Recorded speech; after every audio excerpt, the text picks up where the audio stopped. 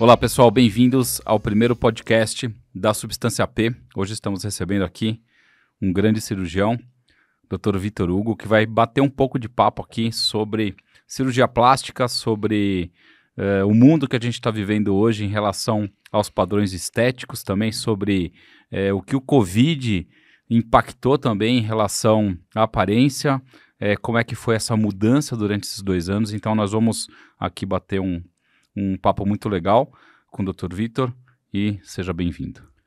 Pete, muito obrigado pelo convite. É um prazer estar aqui com você, estreando esse seu novo podcast, mais um projeto seu. Parabéns por essa iniciativa. É, vai ser muito divertido a gente poder conversar e dar uma noção para as pessoas um pouquinho de estética, cirurgia plástica. Legal. É o meu dia a dia, né? É isso aí, muito bem. Bom, é, antes da gente começar a entrar nesse assunto, assim, queria que você falasse um pouquinho de você, assim, você é, muita gente não entende, né, como que é para chegar até, para ser um cirurgião plástico, né? Então, as etapas para a gente chegar é, na super especialização da cirurgia plástica. Como é que funciona isso depois da faculdade de medicina? Qual que foi a sua trajetória? Queria que você trouxesse para a gente, para o pessoal entender direitinho a formação do cirurgião plástico, que a gente sabe que não é brincadeira, mas conta para gente. Então, o caminho é um pouco árduo, né? A gente passa por seis anos de medicina, é, presta novas provas, né? A prova de residência médica para cirurgia geral. Atualmente, tem que fazer três anos de cirurgia geral para chegar na cirurgia plástica. Na minha época, eram dois anos. É, e depois, mais três anos de cirurgia plástica. Né? Então, é um caminho bem longo. E aí, para quem quer seguir na carreira acadêmica como eu, tem outras, outros degraus a, a cumprir também. Entendi. Aí, lógico, né? O cirurgião plástico tem que ter um título de especialista. Então, tem uma outra prova no final de tudo isso para ser aprovado e, e, ser considerado cirurgião plástico de verdade. É, não, é, isso, é, isso é importante. É, é, o passo final, né? O que fecha a, a, a titulação né, da, da, do cirurgião plástico. É importante a gente ter isso, né? A gente sempre fala isso sobre especialidades médicas. As pessoas não levam muito isso em consideração, mas é importante, né? Esse processo de pegar o, o diploma de título de especialista, levar no CRM, né? Porque o CRM é, para você usar o, o, o, título de especialista, você tem que estar tá cadastrado no CRM, né? Com uh, o especialista. O registro, o, é o registro né? O RQE, isso, é exatamente. Muita gente não sabe disso, né? E, e se coloca como, como especialista feito, fazendo uma pós-graduação ou um outro curso, mas não. É, existe essa burocracia né? E por incrível que pareça, eu, eu aprendi, eu, eu fui registrar o meu, o meu, minha titulação de anestesia depois de 10 anos de formado, porque eu não sabia que existia isso. A gente, muita gente não sabe, eu não sabia e eu fui fazer esse, é, é, esse cadastro, porque no seu carimbo, inclusive, né, só pode ter a sua especialidade se você for registrado no CRM, é um negócio Exatamente muito louco, isso. né? Exatamente isso. E, e, na cirurgia plástica tem um outro detalhe também, que talvez as pessoas não saibam. Além de especialista, você pode ser titular da sociedade, que é tipo o título superior de anestesia sim, que vocês sim. fazem. No nosso caso, para ser titular, tem que apresentar uma experiência pessoal pelo menos dois anos depois de ter terminado a cirurgia plástica, com os casos que você operou de algum tema específico. E o meu foi de lifting facial. Então, por isso que eu te falei que a gente tem que sempre é, e se especializando e subespecializando, sim. melhorando e ficando uh, e trazendo isso para as pessoas. Só que ninguém sabe disso, né? Sim, as sim. pessoas veem diploma na parede lá e acham que é só isso. É. E, e então, então, então foi esse, caminho aí que, obviamente, a gente sabe que leva quase uma infância, né, para a gente chegar na, na, nossa titulação. Mas depois você é, ainda é, quis fazer mais, mais é, mestrado quis dar aula em faculdade, qual, qual que foi a sua trajetória? Tem trajetória nisso? Sim, lógico que tem. Na verdade, é, desde o começo da faculdade, desde 2002, eu já dou aula no curso de instrumentação cirúrgica. Por acaso do destino, fiz Sim. o curso para poder instrumentar na, na faculdade mesmo para os cirurgiões e acabei começa, começando a dar aula. Isso foi acontecendo. Né? Conforme eu me formei, fui sendo convidado para os cursos, entre outros cursos de subespecializações médicas aí, é, online, presenciais, etc. E quando eu terminei a, a, cirurgia plástica, o professor já, eu já fazia parte da disciplina praticamente na ah, medicina legal. ABC. Eu já dava aula desde o R4, R5, porque eventualmente um colega não podia dar, o professor me mandava dar aula e o pessoal gostava das minhas aulas. Então já fiquei direto na faculdade. É, isso me colocou com a necessidade de fazer o mestrado para realmente ganhar a patente, a graduação necessária. É, fiz o mestrado, defendi o mestrado e hoje ainda sou professor de outra faculdade de medicina também, da de São Caetano, né? Ah, legal. É, isso me, me, me, me validou, me dá a possibilidade de, de dar aula para três faculdades de medicina hoje. Porque São Caetano tem dois campos, né? Tá. Dois campi, né, que fala. É, dois campos. É.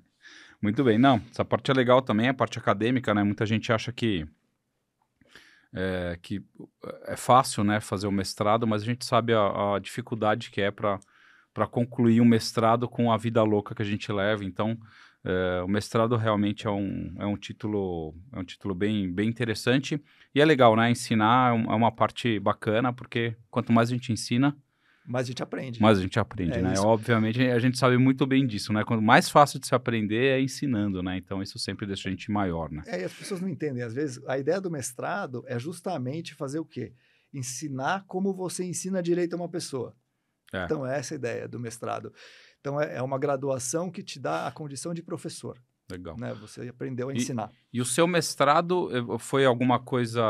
Uh, você fez mestrado específico na sua área, na sua área de cirurgia plástica. Isso, na verdade, o mestrado eu resolvi fazer na minha experiência com toxina botulínica. Ah, legal. Né? Porque na minha época, quando eu estava na, na, na, especialização em cirurgia plástica, eu percebi que nos Estados Unidos, 95% dos procedimentos de face, botox, preenchimento, que quer que seja, que estava começando o preenchimento também, é, eram feitos por, por cirurgiões plásticos. E no Brasil, 95% por dermatologistas. Eu falei, peraí, eu conheço tanto anatomia quanto eles, estudei tanto quanto eles, só que eu tenho a vantagem de operar as pessoas. Então eu percebi que isso seria um nicho de mercado. E eu comecei a estudar cada vez mais isso. Eu gostava muito, eu gosto muito da cirurgia de lifting facial, tanto que eu comentei que foi meu titular de cirurgia plástica. E eu percebi que as pacientes não iam mais operar a testa, por exemplo. A fronte, que a gente fazia umas ritidoplastias frontais, todo mundo quer fazer botox hoje. Isso há 15 anos atrás, quando eu comecei, cara, faz muita diferença. Então, isso alavancou, inclusive, a minha carreira. Né? Me deu uma chance de fazer, e meu mestrado foi nisso. E eu fui avaliando, eu, eu percebi num tempo, com, com a minha experiência clínica, que eu poderia padronizar a toxina botulínica de um jeito interessante. E fui padronizando isso. Conforme eu padronizei, eu fiz essa avaliação retrospectiva de todos esses casos que eu fiz esses sete anos, que é a minha dissertação de mestrado, isso me mostra a curva de aprendizado, estabilização de cada área e como esse tratamento é interessante. Né? É, legal. Então, acho que, que foi esse caminho. Então, você acabou, no, no, mestrado, você acabou idealizando ali um padrão, uma técnica. É, porque existem várias técnicas ou não tem nada descrito? Como, como é que funciona uma técnica de Botox, por exemplo? Tem muitas técnicas para tratar cada área diferente, na tá. verdade, né? Porque a gente fala do tratamento toxina botulínica pensando é, em estética para o terço superior da face. Então, é testa, glabela, né, fronte, glabela, dorso nasal e periorbital. Isso eu chamo de terço superior e uma partinha do terço médio da face. Nessa região, a toxina botulínica vai muito bem. E tem muitas, mas tem muitas variações de técnica. Então, o profissional teria que, que ter um, um aprendizado da força muscular de cada paciente, de como age o músculo, conhecer toda a anatomia, para conseguir fazer isso de uma forma padronizada. Então, o que eu fiz? voltei para a base. A base de tudo é estudar anatomia. Tá. Então, fui rever todos os trabalhos científicos que tinham de anatomia de músculo frontal, de músculo glabelar, que tem o próceros, o corrugador do supercílio, músculo do dorso nasal, o músculo orbicular do olho, e fui entender a mecânica da anatomia da face. Legal. Não é tão legal falando assim, parece meio chato, na verdade. Mas Não, é legal porque você vai na base, na base, na base do, do no fundamento do que você precisa agregar para a técnica. Então, é, exatamente lógico isso. que deve ter sido difícil de estudar até. É, para te falar a verdade, difícil foi muito divertido, cara. Sim, mas... Porque a anatomia é a base de tudo. Sim, sim. Você tendo a base anatômica, você consegue desenvolver as coisas. Então, a partir disso, eu comecei a reavaliar as técnicas que já tinham disponíveis nos trabalhos científicos, né? Tem técnicas muito interessantes, mas todas com muitas variações, não só de pontos, quanto de número de unidades que você usa. E acabei padronizando isso. E funciona super bem para mim. Ah, legal. Então, isso que é legal. Como funciona bem nessa experiência que eu já tenho já os 15 anos de Botox, aplicando Botox nas pessoas, é, e Botox, de novo, é o nome comercial da toxina botulínica, ah, né? Para facilitar é. isso, o pessoal É que, é que é. popularmente é o Botox, é tipo bombril, né? É isso. Ninguém fala palha de aço, gilete, as pessoas falam gilete, gilete, essas coisas assim. Exatamente. É, que a gente fala leite moça, né? Isso é tudo... É isso, é isso. É, não tem jeito, todo mundo fala Botox, vão fazer Botox, né? Todo, todo mundo que eu ouço, né? Fala, não, vou fazer um Botox, então, mas a gente sabe que a toxina botulina, não estamos fazendo nenhum merchandising, não, não tem nenhum não, patrocínio não. ainda pelo Botox, ainda. Ainda, ainda. E eu não tenho nenhum, nenhum compromisso com sim, eles, sim. nenhum conflito de interesse, que é o que se fala sim. em medicina é. o tempo inteiro. Não tenho nada disso. Ah, legal. E, e Botox é, a toxina botulínica, que a gente está conversando aqui, é, é uma das, das possibilidades de, do, de rosto que hoje, hoje... Explica para a gente o que, que é a harmonização facial, que se fala tanto, a gente vê tanto uh, na internet, no Instagram, a gente vê tudo isso de harmonização. Eu queria que você é, falasse o que, que, é, quais são as técnicas envolvidas com isso, quem é que então, pode fazer isso, na verdade, é, então como é que funciona? o seguinte, assim, vamos começar do começo, né? Ah, o tratamento da face é multifatorial. Então, a gente vai tratar o envelhecimento desde o começo. Então, a hidratação adequada, protetor solar, é, cremes hidratantes para face, tratamentos com cremes com ácidos para estimular colágeno por fora, né? E aí a gente vai para uma gama de tratamentos enorme que existe hoje, né? É, harmonização, a ideia da palavra de harmonização é muito legal, porque vem da filosofia grega, e eu fui estudar isso para entender, porque a, a, a gente está acostumado a falar de harmonização de vinhos com comida, né? Sim. É, mas não é isso. Na verdade, vem realmente da simetria. Então, a harmonização seria a busca pela simetria, tá? Mas eu tenho chamado a harmonização que a gente vê na internet, especialmente no Instagram, desse pessoal que posta pré e pós, que não pode, tá? Não pode prestar pré, postar pré e pós. Mas beleza. É, eu chamo de desarmonização. Porque se o paciente quer mudar o formato do rosto, meu amigo, acho justo. Cada um tem o direito de fazer o que quiser com o seu rosto, certo? Desde que você não cause uma deformidade ou alguma complicação grave, porque tem muito risco na face também. Isso as pessoas não falam nunca, né? Todo mundo é, a, gente só foto... vê, a gente só vê o bonitinho, a gente não vê o. Só vê o bonito e no estragos, grupo, né? no grupo de WhatsApp é desgraça, né? É, no WhatsApp geralmente é desgraça. É mais ou menos isso.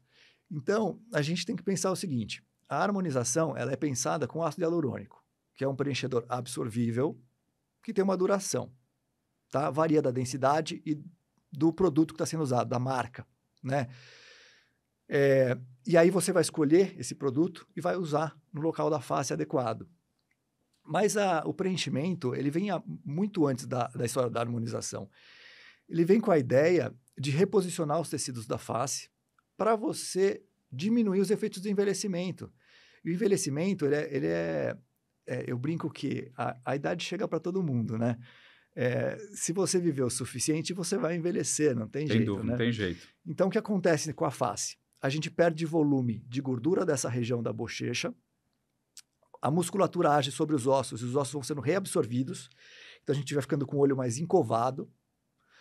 As estruturas móveis, que é a parte de gordura da face, vai, vão pesando nesse sentido diagonal em direção às estruturas fixas, que é o suco nargeniano, o lábio mentoniano, e vai formando aquele suco supermarcado aqui, sim. aquele a marca do ventríloco, aquele bulldogzinho sim, sim, aquele... que fica na lateral aqui da, da, da mandíbula. Daqui a pouco eu tô chegando lá. Ah.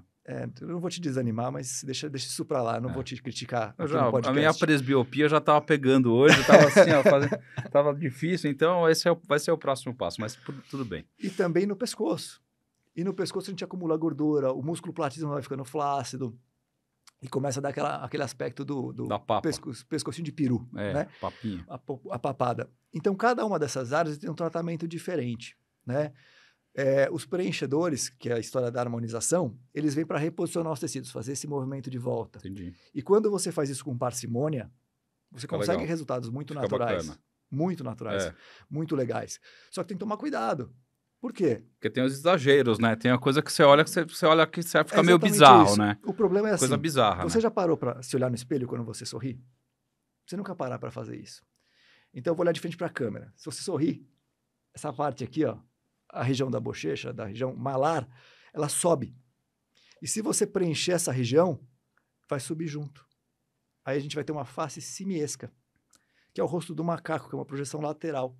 Isso Sim. fica super artificial. Fica feio. Fica feio. Lábio, a mesma coisa. Ah, aqueles lábios As gigantes. As pessoas têm medo de fazer lábio. As é. pessoas vão no meu consultório e falam: Ô, oh, doutor, eu não queria fazer lábio porque eu tenho medo, porque não sei o quê. Eu falo, olha, eu não teria medo se eu fosse você, se é uma queixa sua, a gente pode tratar. Vai Sim. ficar natural.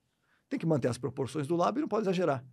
Então, uma das funções do médico, de quem está aplicando o procedimento, na minha concepção, é segurar o paciente a partir do momento que a pessoa vincula o procedimento com girar o caixa do consultório, dá errado. Não, sim, com certeza. Então a função do médico é falar não. Eu brinco com os pacientes assim. É colocar limite né, no paciente para ele também não, não viajar. Assim, eu quero mais. É. Eu vim essa semana, eu retornei, quero. eu quero mais. Nem sempre vai ser possível. Sim. Por quê? Porque eu vou falar assim: aqui não é padaria. Você não pede cinco pãezinhos e ganha cinco pãezinhos. É, diferente. Você pede cinco, eu te dou quantos eu achar justo. É. Porque o, a, a, o padrão de beleza muda muito ao longo é. do tempo. Né? Não, e mesmo porque eu acho que isso é um. É um, é um acaba sendo um, um cartão de visita do, do, do, do profissional, né? É, obviamente que as pessoas se olharem um negócio que ficou muito dismórfico, muito ruim, você acaba uh, ficando numa reputação ruim, né? Você, eu acho que tem, tem esse, esse, esse, esse lance também. Então, tem os, os exageros que acabam uh, promovendo aí uh, problemas, né, em, em relação a, a esses pacientes. Mas hoje em dia a gente, a gente vê muito, né, da, da estética de alguns exageros, a gente vê muito na TV, né, muito no, nas mídias sociais isso, e, e eu também, dos últimos tempos, assim, como a gente ficou muito recluso, a gente teve que fazer muita coisa online, e, e hoje tem uma, uma grande diferença de transmissão, né, a gente, a gente mexe aqui com os equipamentos de, de, de, de áudio e vídeo aqui que são, altíssima definição, que são de altíssima cara. definição, né? Então, tipo, é, aqui tá pegando tudo que a gente está falando no próximo. Você der um close e não, não, não sai o foco, né? A gente consegue ver tudo. E eu acho que isso também acabou deixando as pessoas mais é, preocupadas com, com, com, a, com a aparência, né? Porque Hoje as videochamadas, né, as reuniões virtuais são muito mais frequentes, né? A gente faz muito mais reuniões virtuais. Então isso foi um impacto também. Houve um impacto para você? você? Você sentiu essas pessoas com essa necessidade de melhorar eh, por causa dessas mudanças Não tenha dúvida, cara. Durante a pandemia, a gente teve um período de reclusão, todos nós. A gente teve que evoluir tecnicamente em várias coisas. A gente teve que reaprender a dar aula, dar aula online e tal.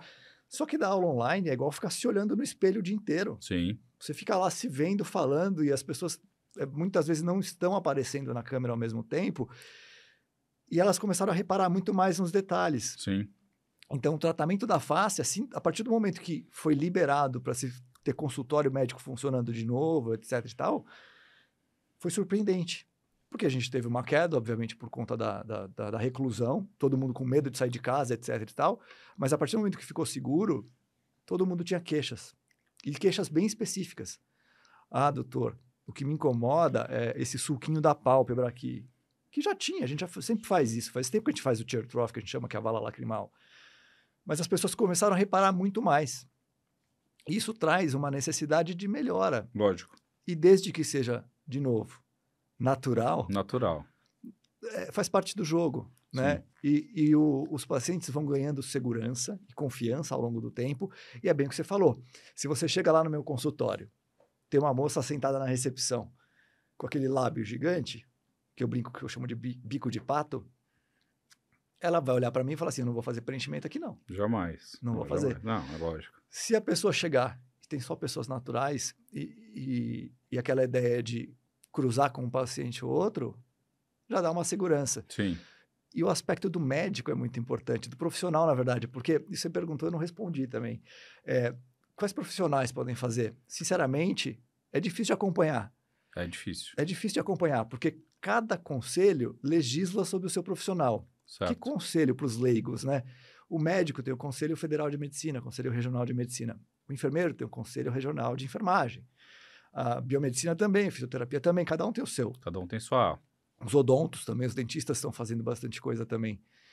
Então, assim, se o nosso conselho não legisla sobre os demais, a gente não tem autoridade para falar que alguém não pode fazer. Claro. Que a autoridade são os próprios conselhos, ou quem sabe até os nossos deputados, senadores e tal. Só que isso não tem escrito em lugar nenhum. Isso também demora para acontecer. Então eu vejo duas possibilidades hoje, né? Ou esse pessoal vai se auto-ensinar e o nosso conselho vai brigar judicialmente contra tudo isso, ou a gente poderia ensiná-los também. Porque mercado tem, vai ter cada vez mais, e o mundo inteiro está crescendo. Os injetáveis, que a harmonização que você perguntou, eles cresceram, pelo dado da sociedade americana, 16% o ano passado. É. Não, eu, eu, eu, eu eu acho que não, essa reserva de mercado, essas, uh, esses pontos são difíceis de, de você uh, querer discutir, né? Falar, ah, não, agora nós vamos puxar a sardinha para o médico, nós vamos puxar a sardinha para o. Né? Eu acho que não, não, não, talvez não seja nem justo isso. O meu medo, quando sempre surgem as técnicas e surgem as terapias e surgem as possibilidades é, de qualquer coisa, é que aparece muito, muito bandido, né? Muito picareta que faz, que não, não sabe nada, não, não é nada e que começa a aplicar e aí queima totalmente é, o filme de todo mundo, né? E aí ele acaba é, e, e, e, isso é uma coisa que a gente sempre, que eu sempre brincava assim. E isso acaba no hospital, né? Isso muitas vezes esse paciente no, no o fim dele é lá no hospital, ele aparece no hospital para ser tratado. Então, isso é um negócio que sempre eu fico, uh, eu fico questionando em relação a isso. É, eu penso só o seguinte, pra, só pra, desculpa te cortar, mas assim, é, a gente tem que pensar o seguinte: ninguém deveria fazer um procedimento que não consegue lidar com as complicações. Sim, sim. Certo? Você pode fazer uma rinomodelação para encher o nariz? Pode. E se necrosar o nariz, você faz o quê? Eu sei operar. Será que você sabe? Então, é, eu vou fazer uma toxina botulínica. Pode ter uma pitose palpebral, queda da pálpebra. Você sabe resolver? Eu sei. Então, se todo mundo tiver treinado para fazer isso de uma forma adequada, interessante. Se as técnicas forem seguras, sem complicações, interessante. Mas o problema é que ao longo do tempo, algumas coisas foram mudando. Eu comecei a fazer preenchedores com cânulas. Tá? Uma cânula descartável custa lá seus 50 reais. Aí o profissional vai usar a agulha que vem no produto. Vem uma agulhinha hoje. Na minha época vinha cânulas e agora eu compro as cânulas. Por quê? Porque a cânula parece ser muito mais segura. Imagina se você passa uma cânula num vaso. Ela geralmente empurra o vaso. Para quem, quem é leigo, a cânula tem a ponta redondinha, igual a ponta de um dedo assim. A agulha não, a agulha tem corte. É corte, né? Não e é se romba. você entrar com uma agulha. Vai furar o vaso, vai você vai furar hematoma. o vaso, vai fazer hematoma e vai embolizar o vaso. É. Embolizar, de novo, para leigos, é mandar é. Uma, um, uma coisinha que vai fechar o vaso e vai te deixar cego, que vai é. necrosar o seu nariz. É. Então, quando a gente começa a ter tudo isso, aí começam outras coisas. Hoje, o que está muito em moda, que eu não sei se você já ouviu falar, é fazer preenchimentos guiados por ultrassom. Sim. Sim, faz 15 anos que eu faço, nunca tive uma necrose, não embolia nada. Por quê? Porque eu uso cânulas, porque eu conheço anatomia, porque eu estudo. Precisa do ultrassom? Pode ser seguro para quem não tem experiência. Só que realmente, e, e, com certeza o ultrassom é mais seguro, porque você vê o que você está tá fazendo. vendo, né? Você está é, vendo, lógico. Só que isso aumenta o custo. Lógico. Você vai ter lá alto. o radiologista, vai ter o aparelho, vai ter um monte de coisa. Então, quando você põe risco-benefício na balança, para quem não tem experiência, talvez seja interessante. Sim. Então pode ser muito legal. Minha esposa é radiologista, sua também. Então é. pode ser o um nicho de mercado para elas. Não, né? sim. Não, não tem todo, todo, todo abre-se né, um leque de, de, de, possibilidades. Mas a gente, é, o que eu sei é que em relação à toxina botulínica, a gente tem algumas, é, algumas profissões que já estão autorizadas a, a, a fazer o preenchimento, o uso, aliás, da, da toxina botulínica. Se me corrija se estiver errado, além do médico, tem o biomédico, o farmacêutico... Fisioterapeuta, dentista, acho que está todo mundo autorizado. É. Então, tem, tem muitas áreas da saúde que estão... É, é, que estão entrando aptas, em, e aspas, estão aptas a fazer, é. a aplicar. E realmente a toxina botulínica tem um índice de complicações muito baixo muito na literatura, baixo. tá? É, a complicação mais temida é essa pitose palpebral, que é a da pálpebra superior, tá? Quando aplicada assim, terço superior da face, né? Não estou mudando de lugar, porque aí da, daqui para baixo você começa a alterar a mímica facial. Então eu faço, mas eu faço em pacientes que têm paralisia facial, é, porque alterar a continência oral não é muito legal. Então, se esses profissionais vão fazer, eles vão fazer, não tem muito jeito. O, a toxina botulínica é um nicho de mercado muito amplo. É, a gente conversou a gente conversa sempre, a gente se encontra sempre, e a gente fala que não tem, eu não conheço quase nenhuma mulher acima de 30 anos que não aplica toxina botulínica, né? E tem o conceito de botox profilático, eu discordo um pouco desse conceito, mas muita gente faz assim para evitar rugas teoricamente. É, eu falo teoricamente porque a minha dissertação mostra nos trabalhos que a gente pode tratar rugas iniciais e que elas vão sumir. Então, eu não sei para que evitar, se a gente pode esperar um pouquinho. Então, do ponto de vista financeiro, talvez seja interessante. Mas é lógico que precisa de mais trabalhos a respeito, com Sim. segmento maior, etc., para quantificar isso. Mas na minha prática, eu só trato pacientes que já têm rugas. Sim. Apareceu uma ruguinha, a gente trata. Não apareceu, vai, volta aqui, vai usando os cremes para tratar a pele, a gente cuida também e vamos tratando, né? É, e, e, e no seu consultório, assim, na sua vivência, é, qual que é o público que, que procura? Qual que, qual que é o público típico, assim, tipo, ó, oh, meu, esse paciente é meu paciente típico que vai lá, ou não, tem um perfil geral. Homem faz Botox também, isso é uma curiosidade que eu tenho, assim, porque é, muita gente fala, poxa, mas homem não, não cuida disso. Homem cu faz botox também? Faz, lógico. Na verdade, é, o paciente típico é aquela mulher entre 35 e 45 anos. Esse é o usual da toxina botulínica e do começo dos preenchedores. Tá. tá? Até os 50, às vezes 55 anos, dependendo do tipo físico, as loirinhas de olho claro envelhecem um pouco mais rápido, né? E as negras asiáticas mais lentamente. Mas, tirando essas exceções, é, por volta dos 50 e poucos, o preenchimento não vai dar conta mais da reposição das coisas, né? Dos tecidos, da queda e tal. Aí talvez um procedimento cirúrgico seja interessante. Por isso que quem tem o leque de procedimentos na mão, que é o cirurgião plástico, que faz uh, os procedimentos todos e ainda opera as pacientes, opera as faces, é, ele vai nortear esse cuidado e vai postergando a cirurgia cada vez mais. A gente operava pacientes de 45 anos, hoje pois opera é. depois de 55. Mas, mas você estava falando agora, né? E, e, eu, eu tô lembrando assim que eu fazia muita anestesia para plástica de face. Isso era uma coisa. Eu fazia muito, muita plástica de face, muita mesmo, assim. Sim. E, lógico, não era só a plástica de face, né? tinha um monte de coisa junto, mas a plástica de face era frequente. E olha, é, isso foi um negócio que praticamente sumiu, né, do centro cirúrgico, porque com esse advento do, do, preenchedores. do dos preenchedores, da toxina botulínica, é, é, difícil você ver uma mulher chegar é, é, e, e, e, e, fazer, né? A, a, Sim, a, o lifting a, frontal. O lift frontal, o lifting né? frontal quase acabou. Pois é. A gente ainda faz. Eu aprendi a fazer endoscópico. Eu posso indicar endoscópico, ao invés de fazer aquela tiara de incisão, faz três incisões, entra por vídeo e faz. Quem quer fazer, todo mundo faz botox na testa. Sim. Né? É, já o lifting de terço médio inferior, qual que é o problema que a gente não consegue tanto resolver com as outras coisas? É o pescoço. Quando o pescoço começa a incomodar, a é, mulher é, faz o lifting. É. E por que, que eu ainda faço muito, uh, ainda tenho muitos casos de lifting durante o ano no consultório?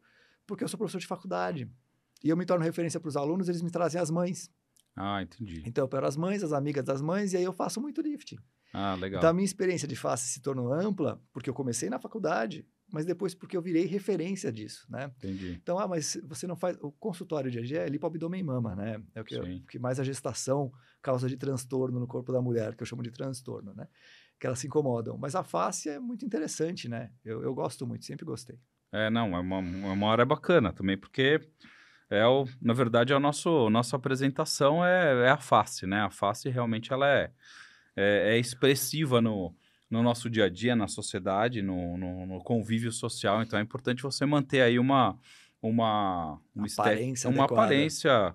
Por mais que muita gente fale não, né, as, as diferenças, tudo, a gente, então, a gente sabe que a sociedade ainda mantém um padrão machista e um padrão machista. de, de é machista e um padrão de, de, uh, de, de, face, de aparência, de, de ser uh, de, de ter uma boa apresentação, né? Eu sempre falo com com os médicos recém-formados, né? Que é importante uma postura e, um, e, um, e uma forma de se apresentar aos pacientes. Não muda nada se você é bom ou não médico, mas Sim. às vezes eles te olham com uma, de uma outra forma e, e, e eu acho assim, isso é ainda... Mas isso eu acho talvez é porque a gente seja mais velho, né? As gerações mais novas talvez não pensem assim, mas eu ainda enxergo isso que os os, uh, os pacientes têm um, um, um, carinho especial. Eles Mas te... não são só os pacientes, os alunos também. É, têm. os alunos, então, talvez. As gerações também. mais novas, a gente parece, a gente pensa que eles talvez não percebam alguns detalhes, mas eles percebem se você se importa com os cuidados em geral. Então, assim, essa coisa do asseio, né? De estar tá lá com a barba bem feita ou a barba bem cortada, que o pessoal gosta de deixar a barba agora.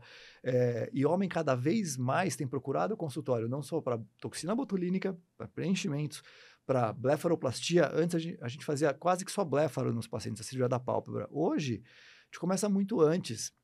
Né? É. E você pensa, não, mas são jovens, né? A gente tem um aumento é, de, de, de LGBTQIA, que tem uma, uma tendência a cuidar mais da aparência tal.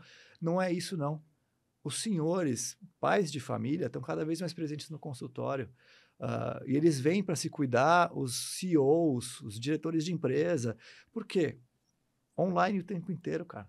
Câmera é um negócio, assim, tá é. cada vez mais definido. É o que você falou.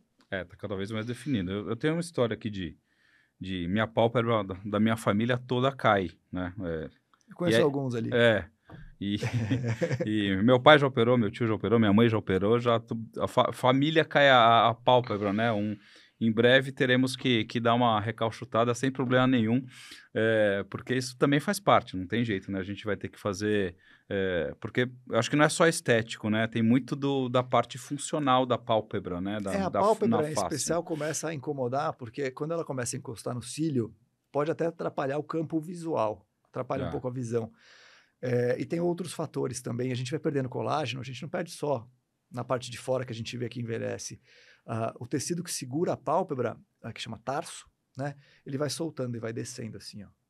Quando faz isso aqui, se vocês tiverem a curiosidade de fazer isso na pálpebra, baixar a pálpebra um pouquinho, entra um ar gelado, incomoda na hora. Não. Isso aumenta lacrimejamento. Os pacientes idosos têm bastante lacrimejamento. A gente reposiciona tudo. Pálpebra legal. é um negócio muito legal também. É, não, legal.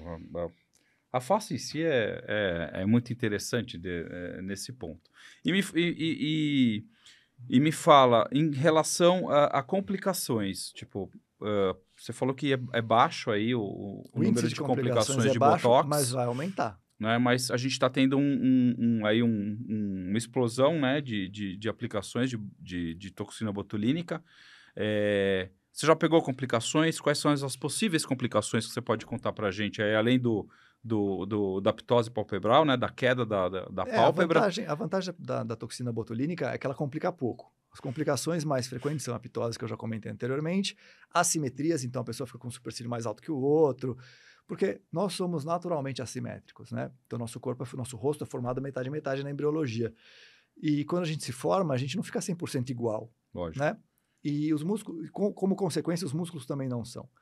Então, com a, a padronização e você distribuindo melhor a toxina, a chance de assimetria é menor. E outra complicação bem frequente é de você pegar algum vasinho, ficar roxo e tal. É Mas são essas as maiores complicações da toxina. Por isso que tanta gente faz e dá pouco problema. Agora, o que vai, e, lógico, né, com as redes sociais, a, a, qualquer complicação que tem é magnificada certo? Aparece muito, espalha muito rápido. Tudo que é desgraça vende, né? O ser humano é engraçado. Não, né? mas isso não tem jeito, né? Hoje adora, com, é, adora com, ver uma desgraça. Com o WhatsApp, com, com essa forma de comunicação fácil. É, e de graça, é, né? De graça, é. né? Ela vem, vem, a gente recebe, né? Nos Sim, grupos da faculdade, da, é, do hospital, em todos, todos os grupos de família, você acaba recebendo tudo, todos, todas essas, essas, essas complicações que, é, que podem aparecer, mas é, é, e aí faz o, parte. O, a harmonização facial é o grande risco, né? Então, se ficar uma lição para alguém, é assim: só faça um preenchimento com quem tem capacitação técnica para isso. Né? E não é um curso de final de semana que vai te dar essa capacitação, especialmente em preenchedores. Sim. E muito cuidado com as agulhas, né? É, quando a gente usa cânulas, a segurança é notadamente maior. Maior. Né? É... Porque ela é menos traumática, ela é, é porque é, tem uma tem... ponta romba. Exatamente, não é... ela não vai furar o vaso. Fura. Né? E nos trabalhos científicos, as pessoas falam, não, é só introduzir a agulha e ficar aspirando por 13 segundos. Ácido, ácido hialurônico, para quem já usou, é um negócio mega denso. Sim. É um, é um gel dentro de uma seringa de 1 ml. Que força você precisa fazer para isso aí aspirar e vir sangue? Demora, não, não, não é fácil. É. Então, ninguém Mesmo porque faz, você pode aspirar, colar a veia Exatamente. E, né, e a, você... a, pressão que você é precisa é não, não dá, entendeu? Então, você tem mais segurança fazendo dessa forma com pessoas que conhecem anatomia. Né? Então, acho que isso fica muito tranquilo. E para é. quem não conhece, por favor, não faça. É. Né? É, Porque o, lidar o... com uma necrose é difícil depois. Cara. É, não, não, sim. Eu, eu, eu acho que a, a, pessoa tem que estar tá treinada, estar tá consciente desses riscos. Se ocorrer uma complicação, também saber como encaminhar ou ajudar essa pessoa que teve a complicação, porque eu acho que sim. isso é importante também, né? É, ter essa noção, né? Ó, agora você precisa fazer isso ou fazer aquilo de uma forma. Uh, urgente, a urgente, palavra. é. é a mas, palavra é urgente. Mas, mas é, um, é, um, é um ponto também que eu acho que é, que é importante. E, e você nota aí. Uh, eh, cursos, você, você tem visto alguma coisa de curso uh, no mercado de aplicação de Botox, de uh, harmonização facial? Como é que está o mercado em relação a isso, de ensino disso?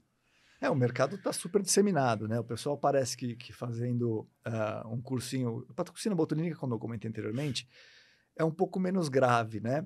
Mas tem muitos cursos disponíveis. É, tem pós-graduações, tem cursos de final de semana, tem... Só que, será que essas pessoas estão tão habilitadas assim para oferecer esse curso? Será que elas têm todo o conhecimento necessário?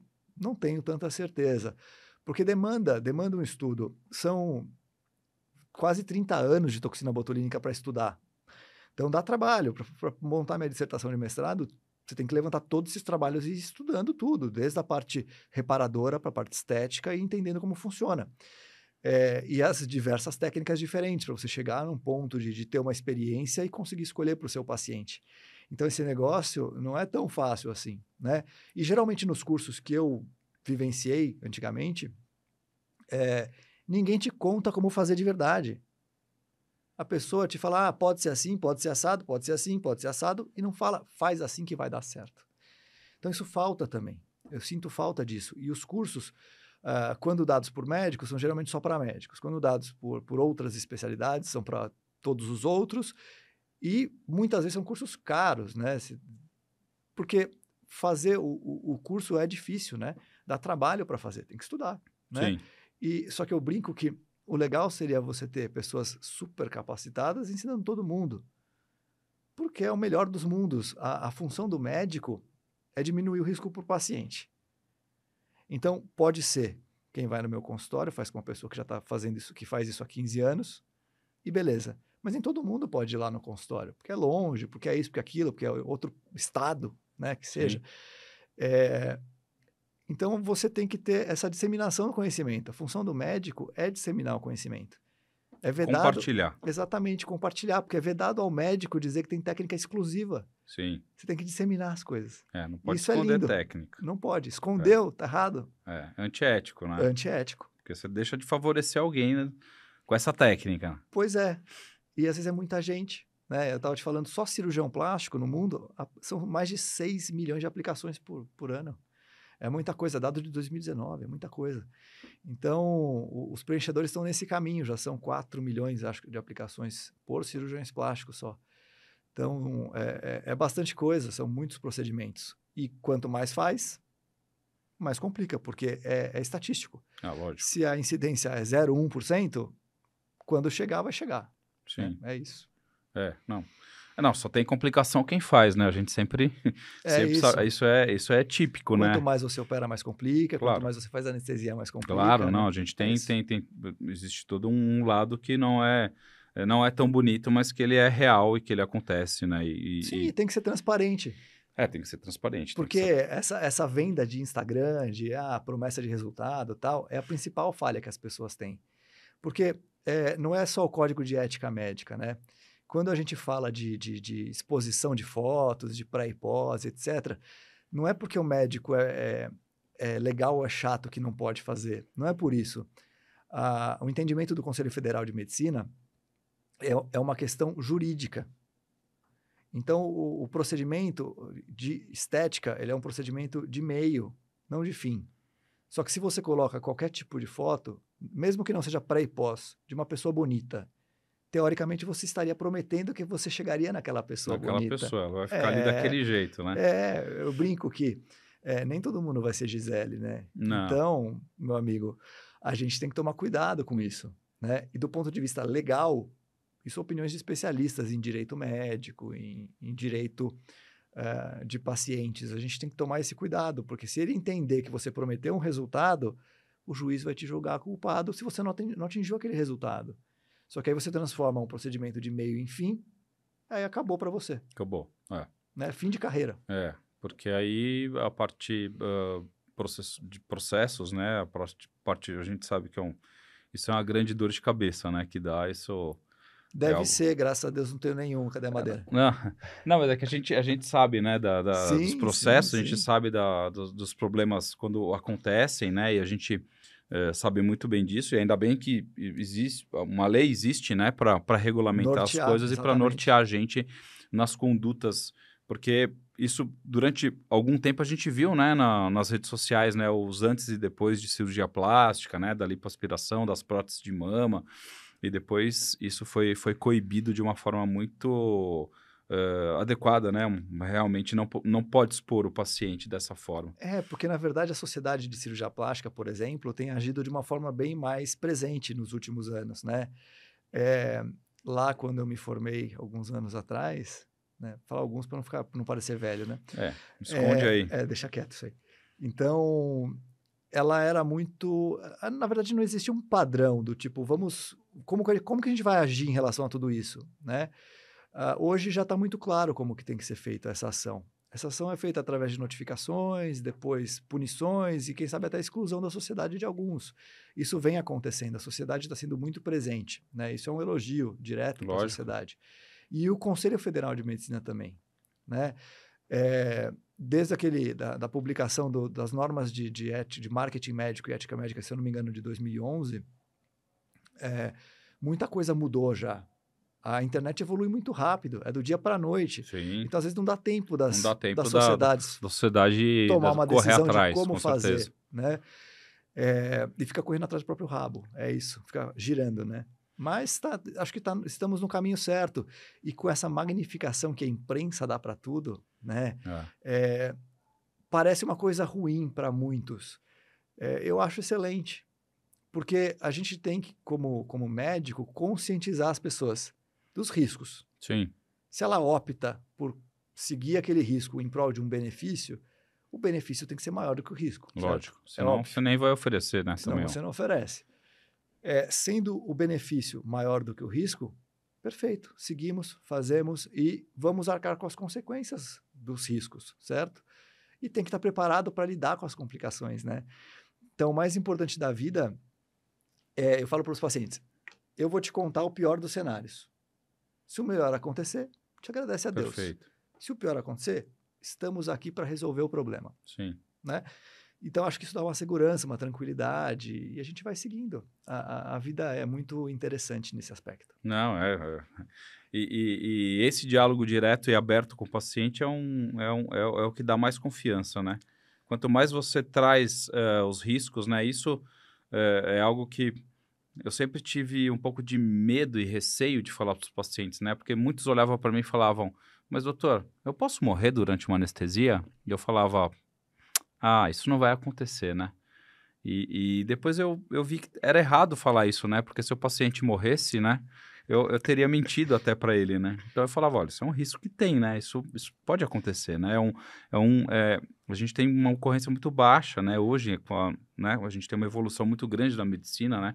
Hoje é difícil você ver um óbito né, no, no centro cirúrgico, é difícil você ver um paciente morrendo no centro cirúrgico. A gente tinha índices muito maiores, a literatura mostra isso, mas a gente viveu isso, né? Eu vivi isso no, na minha residência há alguns anos atrás, não posso contar o tempo, mas eu via que a gente tinha muito mais intercorrências, né? Sim. E hoje a gente tem uns, uma segurança muito maior. Mas quando eu vou lá aplicar meus termos de consentimento, tudo, eu falo ao paciente, falo, existe um risco de de, de, de, morrer, né? Isso faz parte aqui do, é isso... do ato, faz parte de qualquer coisa, é até, até aplicar com um, né? A aplicação de qualquer coisa pode levar uh, a óbito, mas você tem que ser claro, né? E, e, e, expor essas, essa, esse diálogo com o paciente tem que ser direto, você né? fala para o paciente assim, ó, o nosso relacionamento é baseado na transparência.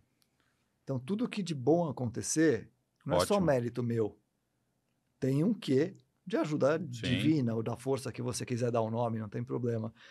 Mas, óbvio que é tudo pautado na, no estudo, no conhecimento, na ciência, né? Como tem tudo, tudo é ciência hoje, né? É, então a gente tem que pensar nisso com tranquilidade. E se você olhar lá no meu site, que, eu, que a gente já conversou sobre isso também, tem todas as complicações possíveis de cada um dos procedimentos. Porque as complicações elas existem, elas são relatadas na literatura. Se você não conta para o paciente, você está omitindo isso. Sim. E eu entrego isso por escrito.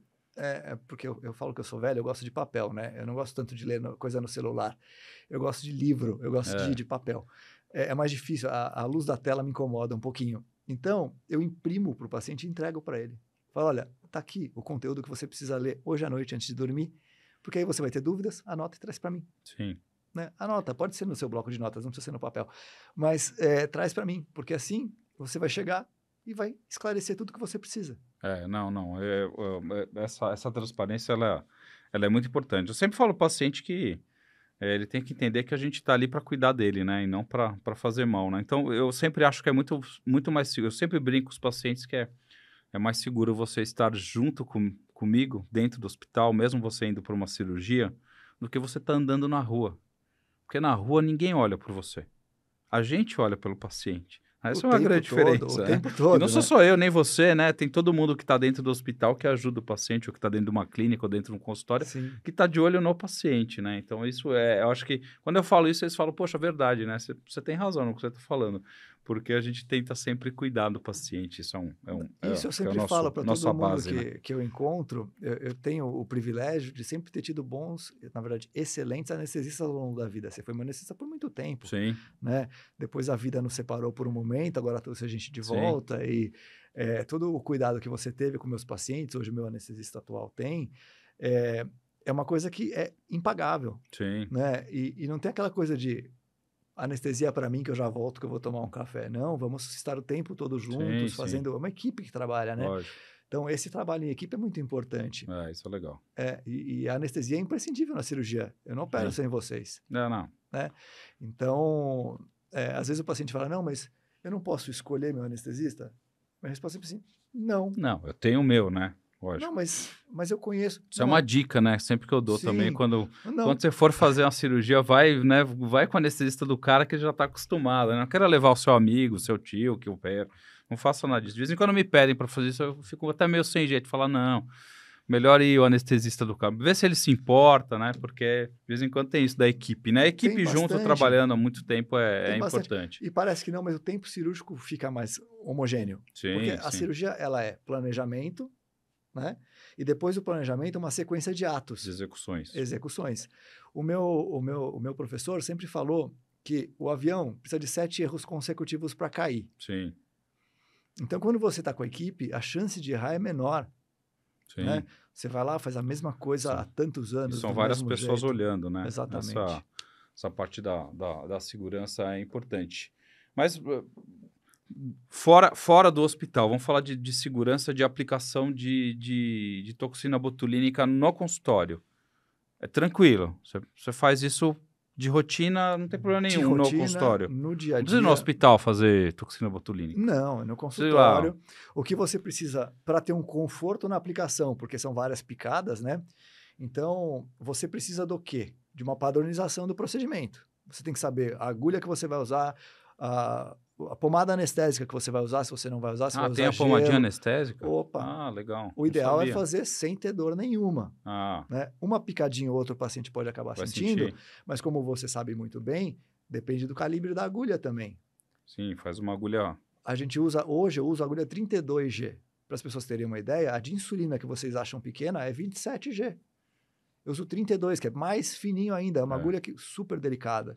É só, só, um detalhezinho sobre esses números aí, isso é, um, é, um, é um, uma forma de você colocar uh, o calibre da agulha e ele é inverso, né? Quanto maior o número, menor o calibre. Eu não sei quem que foi o gênio que inventou isso, mas é, é esse padrão, né? Isso, Porque isso, os, os, os, maiores números são, são as mais finas e os menores números são os mais grossos. É, mas pode prosseguir, só uma parte, parte técnica. Exatamente. Então, a, a minha rotina de consultório para aplicar toxina botulínica é, eu ofereço às pacientes que têm cabelo comprido uma tiara. Nessa tiara, ela coloca o cabelo preso, para não me atrapalhar a região que eu vou tratar. Aplico uma pomada anestésica. A pomada anestésica demora entre 30 e 45 minutos para fazer efeito, né? É uma pomada manipulada, né? É, nesse meio tempo, eu explico as, os riscos e benefícios da toxina botulínica e o que a gente pretende atingir com o tratamento, certo? Riscos de assimetria e tudo que a gente já comentou. Uh, depois desse tempo, eu realizo fotos antes do procedimento, para que a gente tenha um registro fotográfico e que a paciente fique tranquila em relação a tudo que a gente vai fazer. Porque ela tem o seu antes e depois, ela vai poder ter. Ela vai poder ver. Ah, então tá bom. E ninguém mais. Ninguém mais. Ninguém mais, só ela e eu. Tá. Né? E eventualmente uma aula, mas aí quando for utilizar em aula, eu costumo oferecer um termo de consentimento para isso. Sim. Né? É, depois disso, eu levo a paciente até a sala de aplicação, que é uma sala de procedimentos, uma sala de, de consultório médico com uma, uma maca que tem a, a condição de dar um conforto para ela ficar sentada ali por uns 15, 20 minutos. eu faço a diluição da toxina botulínica, porque a toxina botulínica ela não vem diluída, ela vem um pó liofilizado Ah, de é? toxina com albumina. É, é engraçado, né? Ah, engraçado. eu, eu achei que viesse um frasquinho, assim pronto, que você aspira, aspirasse. acabou. É. Não, não é. É, eu achei que fosse isso, olha só. Então, é- essa é uma das pegadinhas, né? Porque o profissional pode. Porque qual é a diferença maior entre as toxinas botulínicas de marcas diferentes? As diferenças de cadeia, que aí é a bioquímica básica, que não vale a pena citar aqui, mas tem moléculas que são menos estáveis. Entendi. Então, tem marcas que comprovadamente são menos estáveis e, por consequência, são mais baratas. Então, não necessariamente aquele botox que você está fazendo é botox. Entendi. O Botox é da Allergan, que eu já te contei, o Dispor é da Galderma, que é uma as marcas mais conceituadas. Botox, Dispor e Xiaomin. Então, Botox francês, é, Dispor é, americano, Xiaomin alemão. Tem nenhuma chinesa aí que faz um somebody love assim? Tem, cara, tem chinesa, tem Boa. brasileira, mas eu não sei nem o nome, porque eu nunca nem pensei em usar. Tá. Por quê? Eu só uso para meus pacientes o que tem trabalho científico. É, Ah, É, porque se você não tem um trabalho científico comparativo, que o, o Botox se, se tornou padrão. Se você não tem uma comparação com o padrão, você não sabe se é equivalente, ou não. se é melhor ou se é pior. Se esses trabalhos não são bem conduzidos, porque não adianta fazer um trabalho. O trabalho tem que ser bem conduzido. E essa coisa da pandemia trouxe para todo mundo essa noção de ciência. Sim. Então é legal isso, porque as pessoas hoje entendem o porquê que eu- a gente acaba usando, eu acabo usando praticamente só o Botox. Eventualmente, uma paciente ou outra que me pede, eu posso fazer um dispor, que eu- é a minha rotina. Faço também.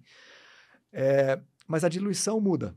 Ah, entendi. Então, se o seu médico, o frasquinho vem lá 100 unidades. Então o cara pode diluir mais. o cara pode diluir mais, usar menos em você para render mais em mais render mais. pacientes. E como consequência, você vai achar que o Botox não funciona para você. Ou, Quantas ou, pacientes ou não durar assim? menos. Ou durar menos também. Durar menos. ainda não há uma relação. Tem alguns trabalhos mais recentes que mostram uma relação de dose e efetividade. É, mas também um, um trabalho difícil de fazer e de caracterizar, deixar um trabalho bem feito, porque você precisaria acompanhar o paciente quase que semanalmente. É, eu, eu não acredito, eu, eu li esses trabalhos, eu não gostei muito do desenho do trabalho. Por isso que eu não consigo dizer que se eu aumentar a dose, eu vou ter, o mesmo, eu vou ter um efeito mais duradouro. Porque na minha curva de aprendizado, eu já aumentei a dose. E não adiantou. Não adiantou. É. E, e você só pode comparar, teoricamente, no mesmo paciente. Só que aí você já causou uma atrofia por um tempo, aplicou de novo, será que você aumentou a dose ou será que já tinha uma atrofia? Então, é, é É muito difícil, difícil, não é? de Difícil. comprovar Ah, isso é aí. difícil. Né? Não, e o paciente vai mudando com o tempo também, né? Porque Exato. ele vai envelhecendo, né? Com o tempo, e aí vai mudando também o, o padrão da, da, da pele, da, da musculatura muda. de E- tudo, e, né? quando a gente Isso atrofia é muito louco, musculatura, É, É. muito, na É, verdade, é difícil, né? De você mensurar tudo Na isso, verdade, né? é divertido. Eu vejo as pacientes que eu trato há mais de 10 anos, porque eu tive que revisar todas as fotos para poder é, é, de- defender meu, minha dissertação de mestrado, né? E aí eu via pacientes 10 anos atrás e via hoje e falava assim, nossa, mas ela tá melhor hoje, tá 10 anos atrás, ela tá dando certo as coisas Tá aqui, dando né? certo, é. Então, acho que é essa ideia de envelhecer com qualidade, né, de manutenção e até melhora do aspecto, é, é o melhor dos mundos, né? É o sonho de todo mundo, É. né? Não, então, mas, mas vamos voltar aqui, eu te, eu te cortei, a gente acabou emendando aqui. Então vem, a, a- vem um pozinho, Hum. e aí você dilui o pozinho, Isso, exatamente. Aí a gente dilui o pozinho com soro soro fisiológico, fisiológico. é, esterilizado, tudo, tudo limpo, bonitinho. A gente geralmente usa eh, a diluição, vem 100 100 unidades. unidades no Botox. Tipo unidade de Tem de insulina. 50, 100 e 200. É, Tá. O padrão é usar de 100, que, que geralmente na literatura se fala em usar 50 para cada paciente. Então, o frasquinho daria para dois pacientes. É, mas isso vai variar muito de, de acordo com a técnica utilizada. E do né? paciente também, E do né? paciente também, porque às vezes você precisa mudar, por, por isso, por conta da técnica, né? Na minha, tec, na minha técnica hoje eu posso falar, porque eu já defendi a dissertação. Ah, então, na minha técnica eu padronizei, então eu sei exatamente o que eu faço. É mais tranquilo um pouquinho de fazer. Isso facilita a vida das pessoas, né? E a minha também, porque eu consigo eh, não só quantificar o que eu vou fazer, mas padronizar os valores também. Porque uma das coisas mais difíceis de fazer na vida de médico é definir valores, né? Define valor. Porque o médico não é ensinado Quanto que vale, é, né? de- na Quanto que vale administração do consultório, né? Quanto É. você vai cobrar, quanto você vai ganhar, Sim, quanto sim. que custa para você e tal. Então, tudo isso tem que ser contabilizado. E aí eu, a gente costuma usar uma seringa de 1 ml para aplicar.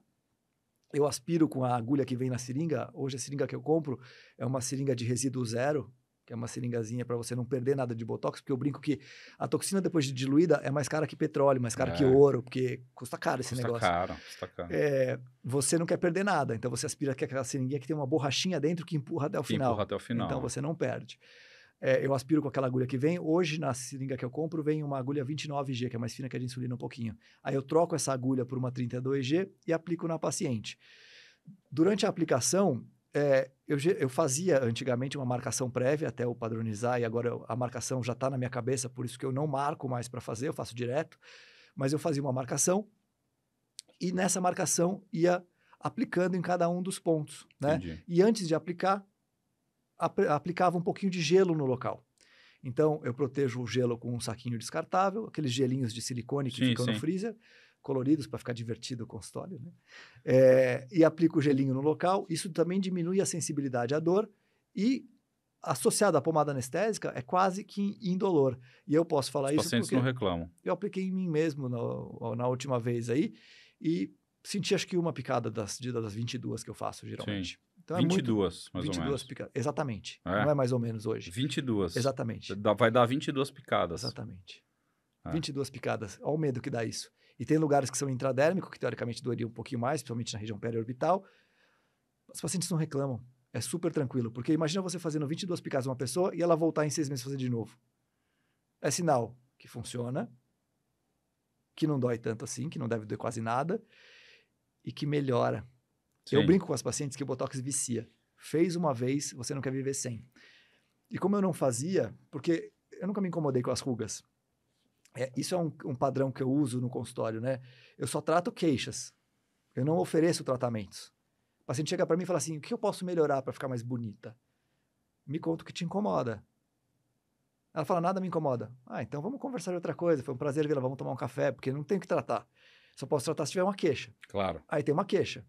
Aí a queixa são as rugas frontais da testa, glabelares, aqui entre a sobrancelha, dorso nasal, periorbital. Aí eu passo a explicar como que funciona, quais são as opções de tratamento, que geralmente é toxina botulínica, botox, né? E aí a gente começa a pensar em tudo isso, tá? Então, enquanto eu não tinha queixa, eu não tratava. Aí a, a, queixa geralmente vem da esposa, no homem, né? O homem não, não se importa muito, ele gosta de ganhar patente ao longo da vida a, e trabalhar e não se liga para o envelhecimento e não percebe. É, um dia minha esposa comentou que eu estava precisando me tratar. Aí eu falei assim, sério? Ela falou, sério. Aí eu olhei e falei, acho que ela tem razão. É. É, e como cirurgião plástico e faço isso todo dia, é, eu nunca parei para pensar nisso.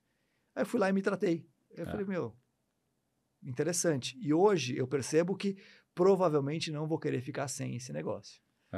É. Provavelmente, assim, não é um vício de querer droga que dá prazer, não é isso. É um vício de você se sentir melhor com o produto e com a melhora que, ela, que ele te proporciona. Não, para é... você é, é, é, um importante referencial, né? Principalmente para o paciente que, Sim, que hoje, vai fazer hoje com você, né? Pergunta, Isso é, obviamente, né? Você, e você sabe como falar, né? Exato. né? Você entende o tratamento. Isso acho que traz muito mais, mais segurança para o paciente. Eu, eu, eu fiquei... É, é, sempre fico curioso em relação à parte do, é, do, de, do procedimento em si, porque... É, eu não sabia se doía, se não doía, né? Como é que funcionava, porque são várias Sim. picadas e, e, e, os tratamentos estéticos femininos tem, né? Geralmente, tem tudo, geralmente são dolorosos, dor, é né? Isso. São dolorosos, né? A depilação, as coisas que as mulheres fazem, a gente sabe que é doloroso. Elas, elas reclamam muito, mas elas não deixam de fazer nada. A gente sabe muito bem é, disso. É, deve ser, porque eu nunca fiz em mim. Não, também, não, mas então elas, é isso, elas é reclamam bastante, né?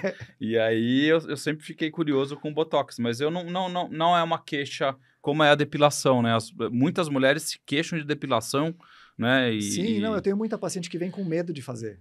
Ô, doutor, mas eu não vou sentir dor, não sei o que lá, não sei o que lá. Fala assim, olha, a dor é individual. Você sabe melhor é, que eu, você é anestesista, né? É, mas não tenho queixas em relação à dor do procedimento, né? Eventualmente uma paciente ou outra que fez com outro colega que ou não usou pomada anestésica, ou não usou o gelo no tempo adequado, ou alguma outra coisa diferente, agulha e tal, pode ser que tenha sentido dor. Mas a partir do momento que passa a fazer nessa padronização que eu sugiro, fica muito tranquilo. Né? As pacientes voltam sempre para reaplicar, e aí a gente vai chegar até no futuro de discutir sobre os preenchimentos faciais também. Porque os preenchedores, o ácido hialurônico, vem com lidocaína. Está escrito lá, ácido hialurônico with lidocaine, que é um anestésico local, para quem Sim. não sabe, né? É, só que a primeira picada dói. Ah, sim. A primeira as... picada sempre dói. Isso. Só que aí você pode fazer alguns bloqueios de face, algumas evoluções do, do, da parte técnica que você consegue, pelo menos, diminuir bastante a sensibilidade. Porque você imagina, é, eu fazendo uma. É, eu não faço com agulhas, como eu já comentei. Eu fazendo uma punção no suco nargeniano e vindo em direção à pálpebra, rompendo esse ligamento orbicular inferior, do orbicular do olho, com o periósteo, certo? Você rompe esse ligamento com uma cânula. Isso deve doer. Deve doer. Sob anestesia local, a paciente só tem a sensação da movimentação. Da movimentação. Né? Do, do... Então fica muito mais tranquilo, né? Então eu consigo fazer isso com tranquilidade e eu posso falar é, que eu ensinei oito gerações de residentes dos anos que eu fiquei na faculdade a fazer isso, né? É, então o conhecimento técnico ele precisa acontecer e precisa ser compartilhado. Essa é ideia que a gente tem uh, do podcast de outras mil coisas que a gente vai fazer juntos aí, que vai ser segredo para o pessoal por enquanto. É, não, isso é só, só para depois. Mas, é, surpresas. Por enquanto, que eu acho que, que a gente consegue é, ter, uma, ter uma visão geral. É, eu, acho, eu acho que é importante é, muito do que a gente falou sobre quem pode fazer, quem não pode fazer, é, como que está o mercado. Até a gente deu risada aí com algumas coisas que são, que são interessantes, né? O, o e uma última perguntinha, assim, que eu queria saber, assim, quanto tempo que eu, que eu tenho que... Eu aplico, se eu for lá no seu consultório tirar minhas ruguinhas, o que, que você está falando, tudo aplicar, daqui a quanto tempo que eu tenho que voltar? Qual que é o seu padrão? A toxina botulínica, ela é interessante, porque ela começa a agir, você não tem efeito nenhum na hora. A paciente até acha que agiu ah, alguma coisa. Ah, não tem jeito na hora? Porque... Eu achei que já fosse imediato. É, então, isso é o ácido hialurônico. A toxina botulínica, ela começa a fazer efeito em três dias, 48 a 72 horas, até três dias, começa a fazer efeito. Vai ter o pico de ação, e aí cada trabalho fala uma coisa diferente, algo em torno de 7 a 15 dias. Tá. tá? Eu considero 15 porque os trabalhos mais bem conduzidos falam algo em torno disso. As empresas falam em 10 dias. Tá? Mas eu peço para o paciente voltar em duas semanas, que é uma coisa, é um espaço de tempo adequado, ainda se precisar de uma reaplicação, reavaliação ah, de cê, detalhes. Você pede para voltar para ver como é que tá. Peço para voltar. Ah, mas legal. tem um detalhe também, né? É, quando você paralisa a musculatura, a toxina botulínica, ela bloqueia o músculo de agir explicando de uma forma simples. Não contrai. Né? Não vai contrair mais, você não vai levantar relaxa. tanto a sobrancelha e tal, e a ruga vai ou diminuir ou sumir, dependendo da profundidade da ruga. Tá? É, então vai causar uma atrofia parcial da musculatura. Eu, eu faço uma comparação simples. Imagina que seu braço ficou engessado por três meses. O seu bíceps vai diminuir do Sim. lado direito, por exemplo. Né? Isso vai acontecer também Na com a sua musculatura occipitofrontal, da testa, por exemplo. Né? É, e aí o que, que vai acontecer? Esse botox vai durar algo em torno de três meses na literatura, tá? E a partir de três meses vai começar a declinar o efeito. Teoricamente, de novo, na literatura, quatro meses poderia aplicar de novo. O tempo médio de aplicação da literatura é algo em torno de seis meses, tá? Dos, das experiências dos casos relatados. Uh, na minha dissertação, 8,53 meses. Então, lógico, eu não avaliei nesse período se voltou a contrair o músculo ou não. A minha orientação é, quando a ruga voltar a te incomodar, você, você volta. Você volta, a gente faz. Foi em média oito meses e meio. Oito meses e meio de média, que é um pouco mais do que na literatura. Só é. que é lógico, fatores financeiros podem estar envolvidos, uh, ou mesmo questões de trabalho, o paciente trabalhando demais aqueles meses, não deu para encaixar os seis meses para o Botox para voltar e fazer. Então, é, eu não estou dizendo que é uma técnica melhor do que as outras. Eu estou dizendo que a durabilidade que eu tive na, na foi numérica foi, foi essa. Achou. Ponto foi final. Né?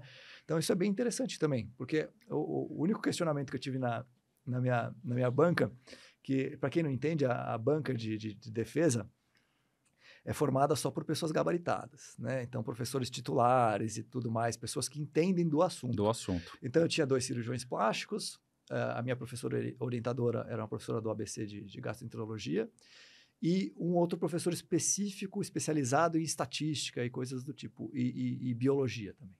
Todos professores titulares e professores é, super é, conceituados.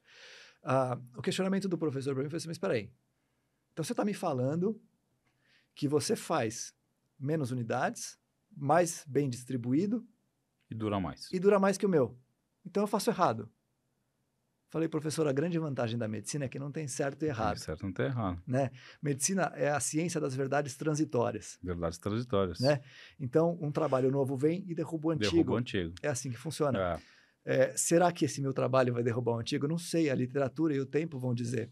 Né? Então, eu não tenho essa pretensão de afirmar isso com esse trabalho.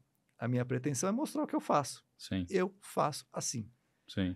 E eu aprendi assim, minha curva de aprendizado é essa. Se o senhor quiser tentar usar do jeito que eu faço, pode ser interessante. É, é uma, uma tentativa, é, É isso. É, a medicina é, é das, das verdades Transitório. transitórias, né? O exemplo que eu mais dou é do ovo. Falou, olha, quando eu era pequeno, lembra, Rock Balboa? O cara que tomava seis ovos crus no café da manhã, saía correndo, subia aquela escada, não sei o que, não sei o que lá. Depois o ovo virou um vilão. Virou um vilão. não é. podia comer um ovo por semana, com Era colesterol, colesterol, não sei o que, não sei o que lá. Agora o ovo é a coqueluche de novo, ó. do ser humano. Ó. Não, tem que comer ovo todo dia porque é saciedade, porque é albumina, porque... Entendeu? É então, difícil. é, a gente vai aprendendo, É, né? a gente vai aprendendo com isso. Mas o importante é que é, no, no, no- seu dia a dia, no seu consultório, você está tendo um, um retorno bom em relação a, aos pacientes. E os pacientes trazem essa, essa pô, tô feliz com, com É, o que está rolando. O que eu falo é que se eles não tivessem felizes e satisfeitos, voltariam. não voltariam. É. E, e o meu nicho é muito, é um crescimento em progressão geométrica, né? Porque você faz um paciente, ele retorna. E a toxina botulínica, do ponto de vista mercadológico, é espetacular. Cada seis meses o cara está no seu consultório, duas vezes por ano. Então, do ponto de vista financeiro, que é uma coisa que a gente nunca fala em medicina, né? Que é feio, né? Médico ganhar é, dinheiro. É feio, não pode. feio, não pode, não pode. É. Eu sempre brinco, a gente não faz o, o juramento, do, a gente não faz o, o, o juramento de São Francisco de Assis, que é da pobreza. É, A gente faz outro juramento. Nosso juramento é de cuidar do paciente, mas isso É não quer dizer que a isso. gente não vai ser remunerado por isso. Não, e tem que ser, porque o risco e o- a necessidade de aprendizado e de conhecimento é muito grande. A Sim. gente acabou de falar no comecinho da nossa conversa. Não, e, São, não- e, são e- 12 e- anos de formação. E aqui cui- a gente vai falar um negócio aqui que não é só médico, né? Todo mundo estuda, todo mundo gasta o seu tempo e todo mundo tem que ser bem remunerado em todas as profissões, em todas as áreas, né? É isso. Isso é, não é o médico que é o super-homem, não, não. A gente, a gente, durante muito tempo, a medicina achou que estava no topo do Olimpo e a gente, a gente sabe, né, na nossa geração, principalmente que é mais nova, que a gente tá junto com todo mundo e as equipes funcionam muito bem, pelo amor de Deus. Né? O Covid mostrou muito bem isso, né? O quanto foi importante a integração do médico, do enfermeiro, do fisioterapeuta, do nutricionista, Sim. de todo mundo dentro do hospital, do pessoal da, da manutenção, da- foi E um negócio muito foi louco, né? assim, A minha vida é integrar com a equipe. Eu Sim. coordenei serviço de saúde, você sabe disso. E com essa coordenação, eu tenho um respeito muito grande pelos enfermeiros, pelos técnicos, Sim. pelos escriturários, porque é, eu falo para os É, pacientes. Tem todo o back-office do hospital que ninguém sabe que existe, mas existe É. lá o pessoal que cuida da parte técnica, o engenheiro, tem, tem muita gente envolvida. É, é muito louco isso, né? Porque as pessoas olham o hospital acham que só tem médico e enfermeiro, né? Não. Não, e a Tem gente muita chama, gente e a ali, gente chama de visita de médico porque a gente passa, fica 10 minutos com o paciente, eu fico mais porque eu tenho problema, eu gosto de conversar, eu adoro conversar. Mas a gente fica 5 minutos com o paciente, quem fica o dia inteiro é o enfermeiro. É o enfermeiro. É o enfermeiro entendeu? que cuida. enfermeiro, é técnico e tudo é. mais. É, então, a necessidade de, de, é, compartilhar com essa equipe essa experiência, de estar disponível e, e de ajudá-los e auxiliá-los com tudo que eles fazem, eles ajudam muito a gente. Sem eles, a gente não teria a nossa profissão também. Não, com- sem dúvida. Então, isso é, isso é muito legal de falar. É por isso que eu falo, compartilhar o conhecimento é importante. É isso. A gente precisa todo mundo estar no mesmo nível, mesmo padrão e, e etc. Ah, mas se não sei quem fizer, não sou eu que defino isso. Quem define são os conselhos. Não, com certeza. Né? É isso. Mas nós vamos, acho que, acho que nós vamos, vamos ter outros episódios para a gente conversar sobre isso aqui, de- sobre tudo isso, sobre todo esse envolvimento. Queria te agradecer aqui eh, por vir aqui, por ficar aqui esse tempo com a gente batendo esse papo, que eu acho que é muito importante, porque esclarece muito sobre muita coisa que a gente tem falado da parte estética. Eh, também a abertura aqui é nosso primeiro, primeiro podcast. Você está fazendo a estreia aqui, então estou muito orgulhoso de ter você aqui, porque além da gente trabalhar junto, a gente tem aí uma relação de, de irmandade, né? Não é nem de Sim, amizade, passou né? da amizade faz tempo. Somos né? amigos há muitos anos e, e temos aí uma admiração mútua, então isso é muito bacana. Então, estou muito feliz de você estar aqui, muito obrigado. Espero que você sente nessa cadeira aí mais umas 300 vezes. Pete, obrigado pelo convite, foi um prazer, vai ser excelente. Sempre que você precisar de qualquer assunto, estou à disposição. Cirurgia plástica é, é minha vida atualmente. É isso aí, nós vamos conversar muito sobre saúde, sobre estética, sobre tudo isso, que é muito bacana. Obrigado, pessoal. Muito obrigado pela atenção de todo mundo aí, quem assistiu. Uh, e a gente se vê aí num próximo episódio.